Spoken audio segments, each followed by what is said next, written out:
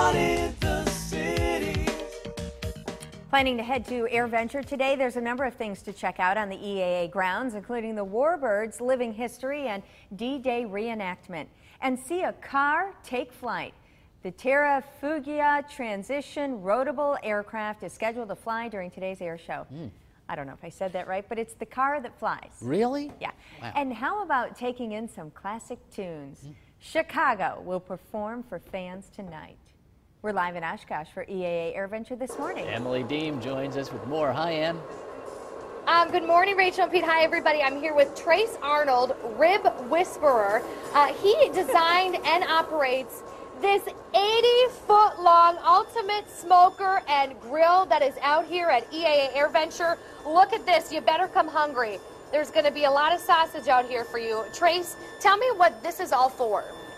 Well, we're on the History Cross Country Cookout Tour. It's over 10,000 miles in 13 cities in 90 days. And Oshkosh happens to be our 10th stop. And we're just excited to bring History, Nationwide Insurance, one of our sponsors, and our partner, Soldier's Wish, out here to Oshkosh so we can kind of just share with the crowd what the good old American backyard barbecue is. History wanted to share with the people just a good old American backyard barbecue. That's awesome. And you better come hungry, right? Oh yeah, we've got over 5,000 samples each day of some jalapeno cheddar sausage and some history hickory, and we'll be giving it away all day for the next three days. What's amazing is because it's on this, um, the semi truck is carrying this. I mean, it is 80 feet long. You have a smoker. Here's a place where you can make pizza in, right? That's our, that's our little pizza oven. oh my gosh, unbelievable. And what's right next to it, right over here? Another smoker. This is a rack smoker, what we call a rack smoker. We're just cooking us up a little lunch right here today. This is awesome. Let's move down because you have this huge screen up top. You have flat screens on the truck over here.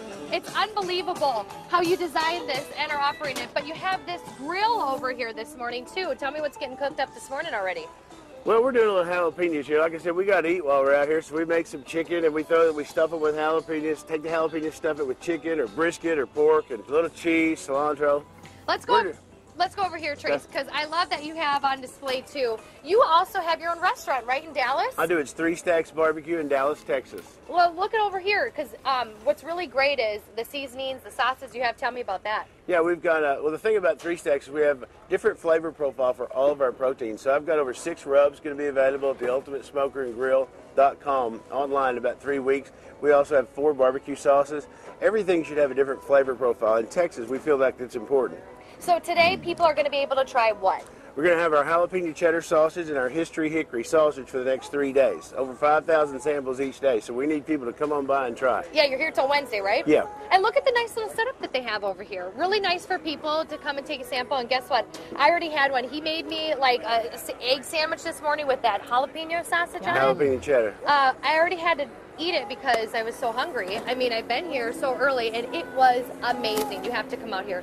We got more chicken over here. I mean, gosh, it is nice and warm over here too.